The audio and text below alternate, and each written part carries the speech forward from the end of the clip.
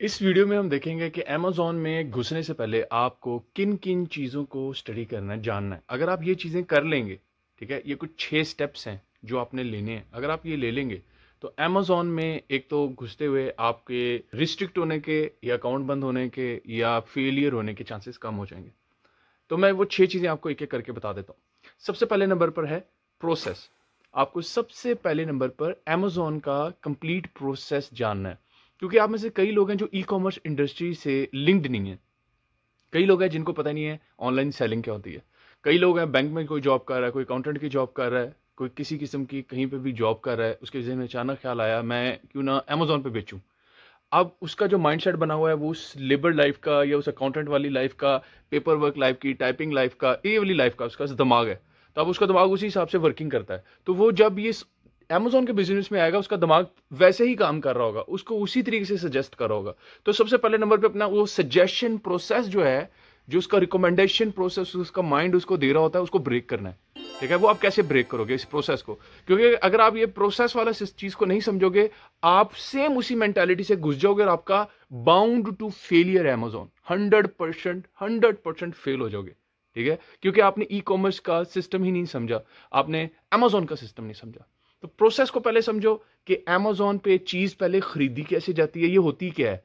लोग अली बाबा से खरीदते हैं, कहाँ से खरीदते हैं? खरीद के, उसके बाद बेचते हैं, उसके बाद वो शिपिंग कॉस्ट क्या होती है? कौन कौन सी किस किस स्टेप पे कॉस्ट इंकर कर रही है? सारा प्रोसेस एंड तक वेरिफिकेशन क्या होती है? उसके बाद अमेजोन क्या क्या डॉक्यूमेंटेशन माँगता है? मतलब पूरा एक प्रोसेस है from zero to end customer ठीक है? ये आपने सारे का सारा प्रोसेस को समझ लेना है। जब आप ये प्रोसेस समझ लेंगे तो फिर दूसरी चीज़ आ जाएगी।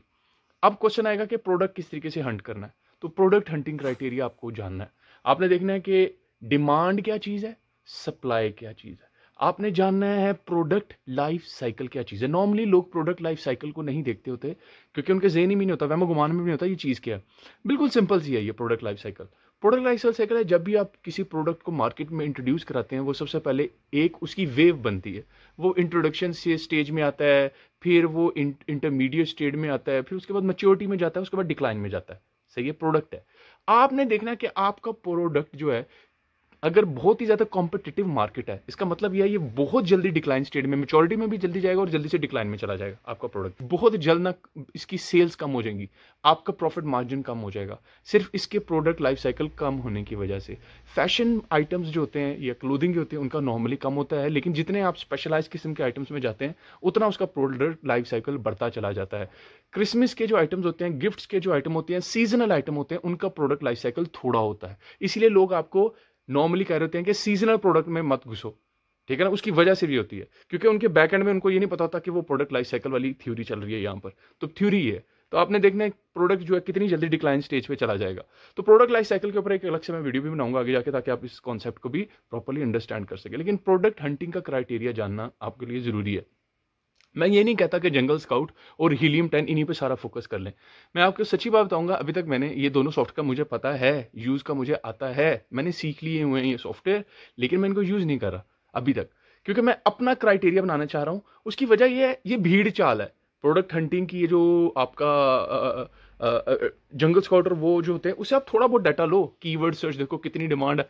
टू बी ऑनेस्ट जो लोग अमेजोन पे बहुत अरसे से काम कर रहे हैं वो अमेजोन के थ्रू ही प्रोडक्ट हंटिंग का अपना क्राइटेरिया बना लेते हैं। उनको टेंशन ही नहीं होती है बाहर से जाके किसी और सॉफ्टवेयर से लेके हंटिंग करना। अब तो अमेजोन के अंदर प्रोडक्ट अपॉर्चुनिटी एक्सप्लोरर का भी एक ऑप्शन आ गया। उन्होंने एक दे दिया हुआ ताकि लोग और देख सकें अपॉर्चुनिटी किस किस कैटेगरी में है किस किस प्रोडक्ट में। तो अब आपको इन सॉफ्टवेयर की ज़रूरत नहीं पड़ेगी आगे जाके। लेकिन स्टिल आपको इनको जानना ज़रूरी है ताकि आप कॉन्सेप्ट को समझ सकें। इसलिए आपके लिए इन सॉफ्टवेयर को जानना ज़रूरी है और प्रोडक्ट हंटिंग को समझें प्रोडक्ट लॉन्चिंग को समझें। और पीपीसी जो होती है, किस तरीके से आप एडवर्टाइजिंग होती है, बस उसको समझे। मैं ये नहीं कह रहा आपने करनी आप कर ही नहीं सकते। आपके पास नॉलेज ही नहीं है प्रैक्टिकल तो आप बस समझें, है क्या चीज़? तीसरे नंबर पे आती है आपकी प्रॉफिट कैलकुलेशन आपको प्रॉफिट की कैलकुलेशन का क्राइटेरिया पता होना चाहिए। आपको पता होना चाहिए प्रॉफिट बेसिकली निकाला कैसे जाता है। आपको पता होना चाहिए प्रोडक्ट की इनिशियल जो कॉस्ट होती है, उसमें क्या क्या चीज़ें आती हैं। एक आइटम जो मैन्युफैक्चर हो रही है ठीक है? आप अली बाबा पे जब जाके देखते हो, आप देखते हो अमेजोन पे बिक रही है दस डॉलर की अली बाबा पे बन रही है दो डॉलर की। तो आपके जेन में आता है अच्छा दस में से आठ, दो निकाला तो आठ आठ डॉलर प्रॉफिट तीन, दो डॉलर कमीशन अमेजोन ले गया फुलफिलमेंट भी चलेगी और चल चला के मेरे पास चार से पाँच डॉलर आ गए। आपने ये सोचा। लेकिन रियलिटी में ऐसा नहीं है। रियलिटी में क्या हो रहा है? दो डॉलर का आइटम है। आपने अगर उसको सी से मंगवा रहे हैं या एयर से मंगवा रहे हैं, इसके ऊपर भी उसकी कॉस्ट डिपेंड कर रही है।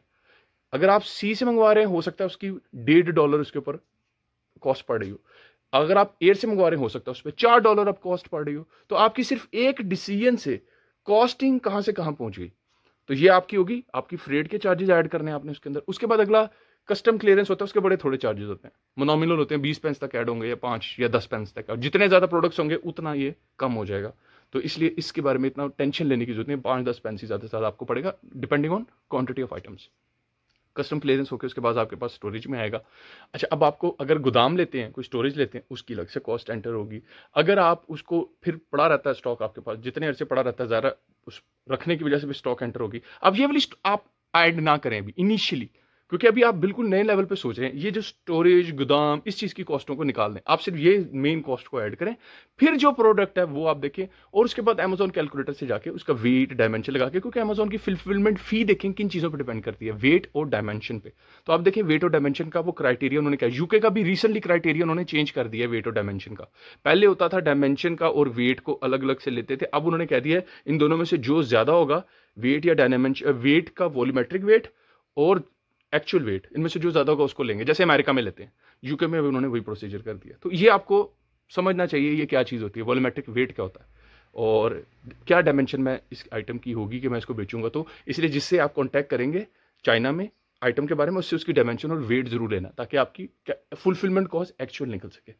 ये आपका हो गया प्रॉफिट कैलकुलेशन उसके बाद आ जाता है, आपको अपना सेलिंग मॉडल डिफाइन करना है।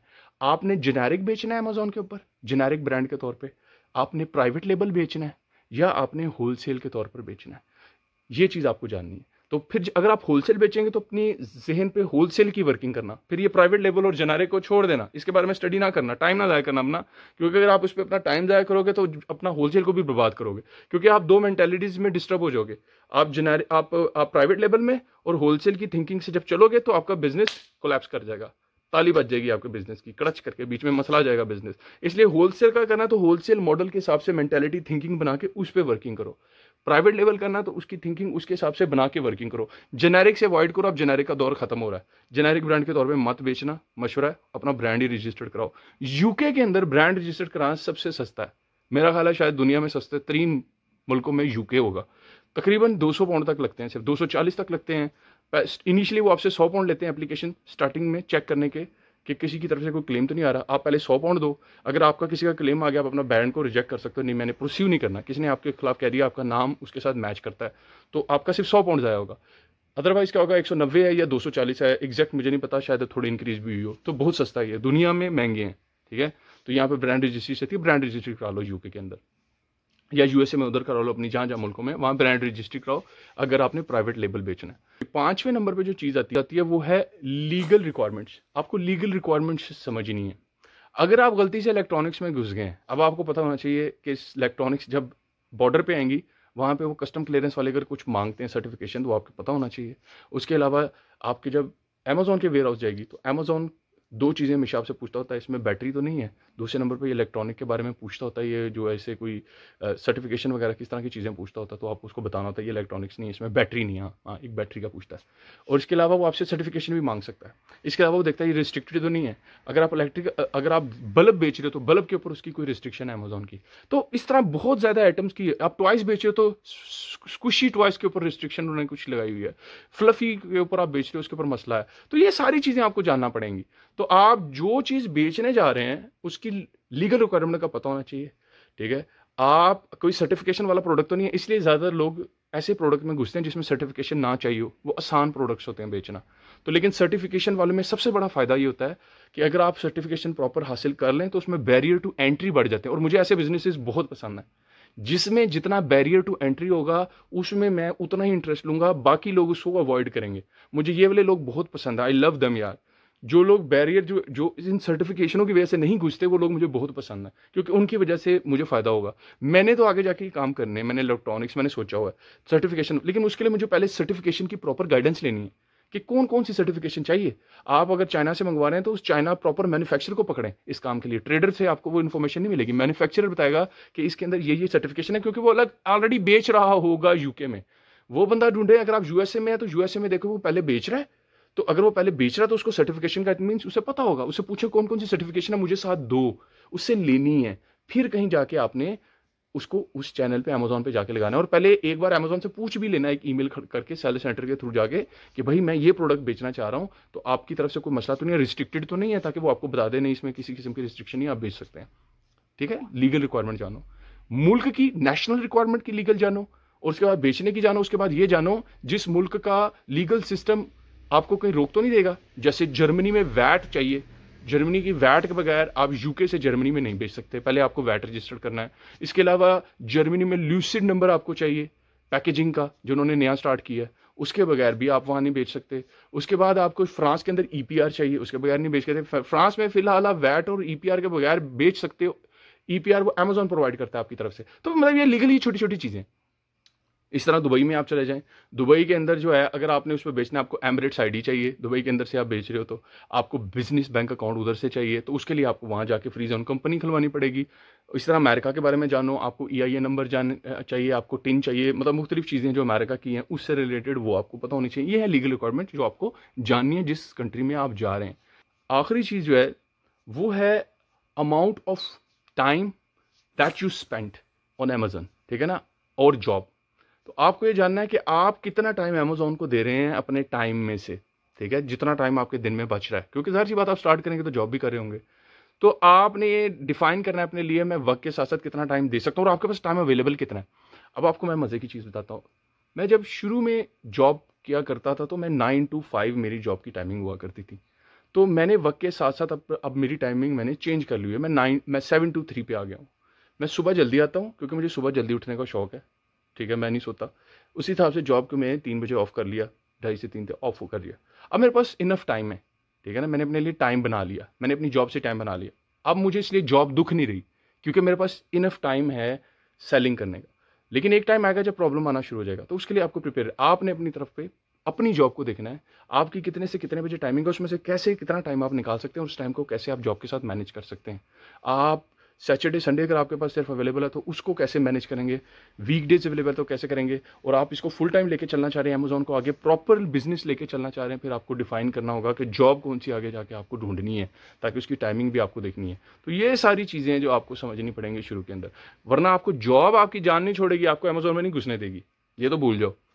क्योंकि आपने जॉब पे जिस पे जिस पे टाइम ज़्यादा लगाओगे, वही चीज़ आपके साथ कनेक्टेड रहेगी। अपने बीवी बच्चों पे टाइम लगाओगे, बीवी बच्चे आपके साथ कनेक्टेड रहते हैं, उनसे टाइम कम लगाओगे अपने बी बच्चों के आगे जाके, वो आपको मुँह भी नहीं लगाएँगे। तो ये दुनिया में भी यही रिवाज है, नेचर का भी यही असूल है, और अमेजोन का भी यही असूल है, ठीक है? जितना टाइम उतना फ़ायदा। उम्मीद है इस वीडियो में आपको काफ़ी चीज़ें क्लियर हुई होंगी। मैंने आपको सारा इन डिटेल बता दिया क्या क्या चीज़ें आपको करनी चाहिए क्या क्या चीज़ है जो आपको समझनी चाहिए अमेजोन में बेचने से पहले। तो इससे फ़ायदा उठाइएगा। कमेंट में बताइएगा आपको फ़ायदा हुआ। और प्लीज़ मेरे इस चैनल को सब्सक्राइब ज़रूर की दें। वीडियो को लाइक करें। नेक्स्ट वीडियो तक के लिए Have a nice day.